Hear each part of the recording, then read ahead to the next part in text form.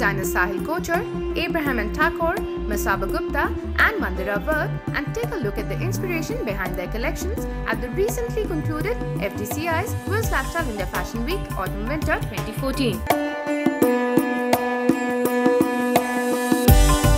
Designer Sahil Kochhar showcased one of the most noteworthy collections in terms of the technique and engineering, and he took his inspiration from the art of Shola I got inspired from this craft which is called Shola Pith.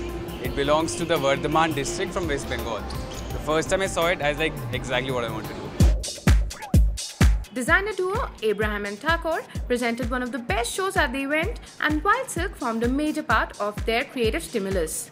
We had two things. One was empowered women, and uh, the second was wild silk.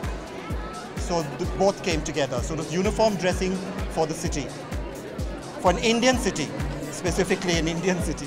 Designer Masaba Gupta designed a collection for Satya Paul that was influenced by elements of deceit. There were many inspirations. Um, well, one was Icarus, which was on the collection note that you all read, which has played a big, big part in my life. Uh, you know, it teaches us that you shouldn't fly too high or too low. More than that, there was deception, which was our main theme, where we used uh, motifs like the hand and the scissor. We had the running tap. We had uh, the hand and the pin.